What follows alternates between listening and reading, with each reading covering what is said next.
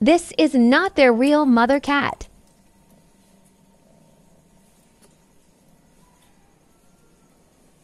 This is their real mother cat.